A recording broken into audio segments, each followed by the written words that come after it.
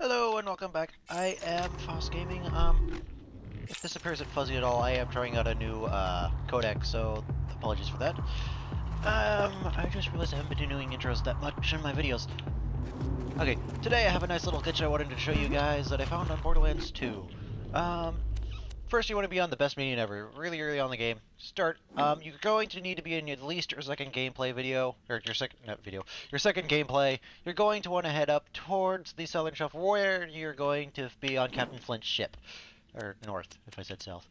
Um, you're going to need a sticky homing, or at least a homing. It doesn't really have to be sticky yet, just needs to be homing, and it needs to be explosive. The explosive part is what I'm emphasizing. Anything else will not work for this glitch.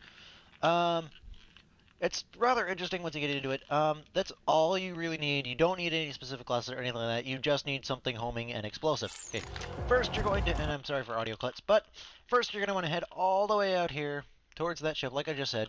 Um, most of the part you can kill these guys, but it doesn't really matter. But you are going to need the best minion ever, and you need the objective catch up the cat claptrap. And this is right after you shoot him with the bazooka, that uh, Big Bertha, which I believe is right here, that I just passed.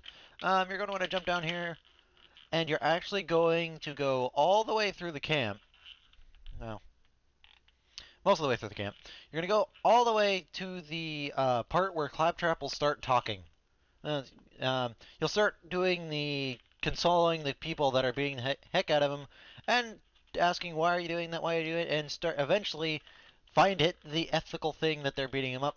That's actually the line where you want to be at. However, you do not want to cross the border so you can see them. You want to be standing at the house that has that little skeleton on it, and not that one, but you will see it in a second. Um, that one on the right. Yep, that right over there. That is the one where you need to be. And this is the line.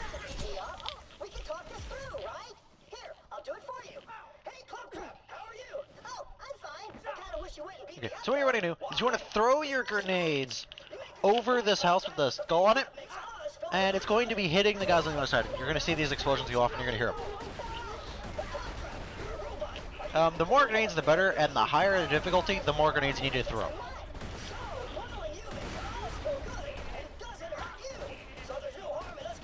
Okay, once you have that, you want to stick to this left wall over here. You want to get really close to the flagpole. And you're going to hear the dialogue still going on, but you want to go over here, and then we on this iceberg. From there, you'll notice that there's something wrong.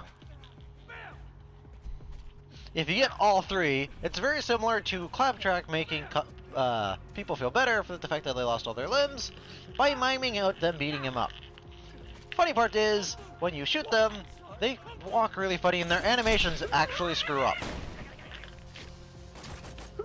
And I know prosthetics aren't really funny, but... Let's see if I can get their animations to run.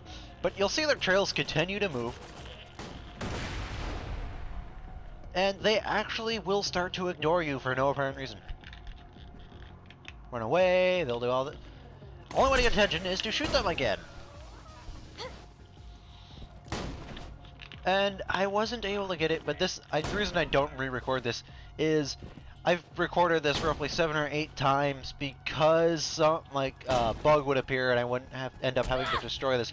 So I would. This is the seventh time, so I really don't want to re-record it after this. So that is why um, I didn't get any of the footage of their animation screwing up. Otherwise, I would have that in there. Well, that is all. I will see you next time.